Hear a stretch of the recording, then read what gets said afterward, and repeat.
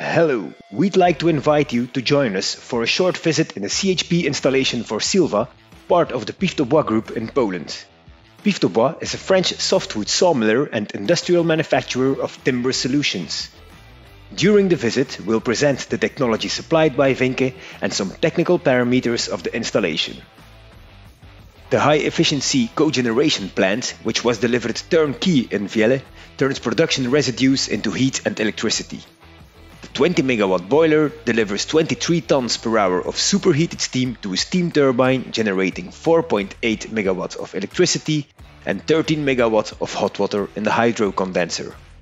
Another 4.6 megawatt of heat is extracted in the flue gas condenser, making the energy plant very efficient. All heat is consumed by the dryers used for the production of wood pallets and construction wood. At first, let's have a look at the fuel handling part of the project, which includes a big fuel storage, an overhead crane, two receiving hoppers, a chain conveyor and a hydraulic pusher.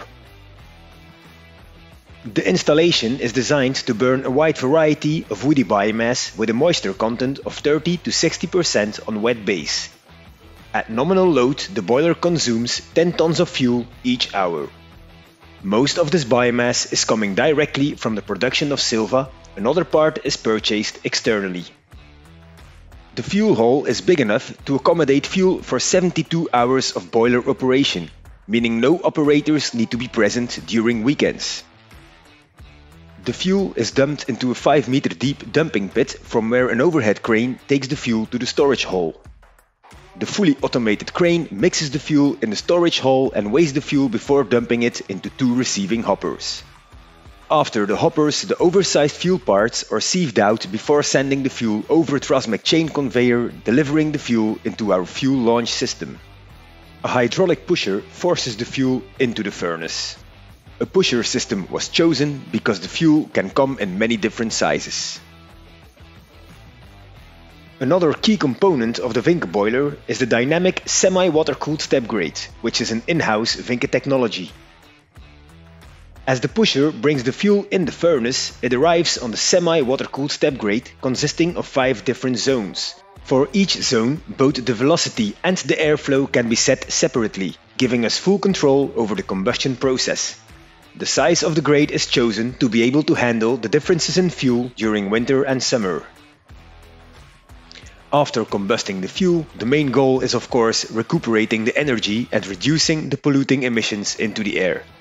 To do so, a vertical water tube boiler was installed in combination with an ESP filter, a flue gas fan and a flue gas condenser.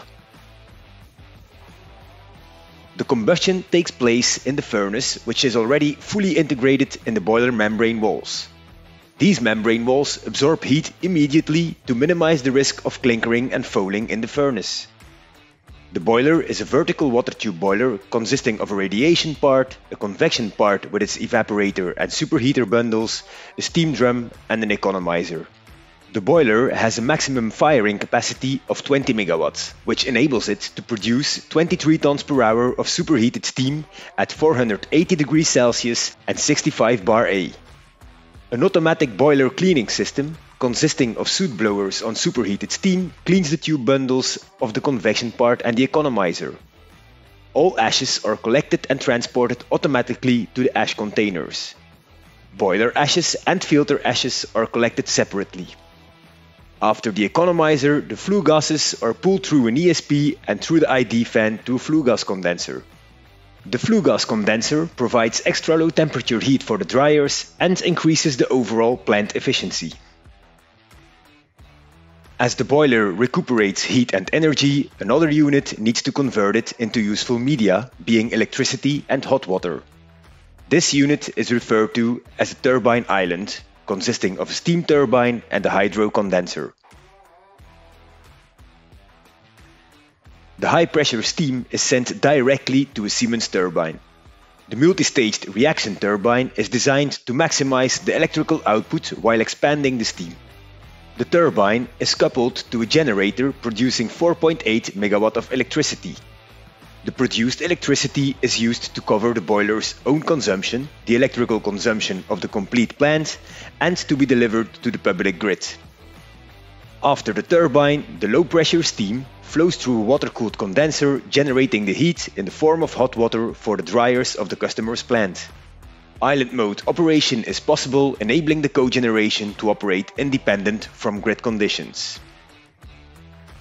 Each Vyncke boiler is controlled via a customized visualization system which can be entered both on-site and online.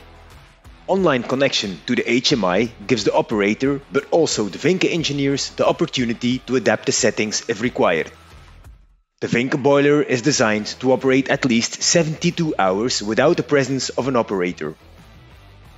You might have noticed that the boiler in Wiele is installed 6 meter below ground level. The installation in a pit is a consequence of a building height limit of 15 meter to minimize the impact on the environment. The erection and commissioning on a brown field in the middle of an operating plant was a second challenge which had to be dealt with.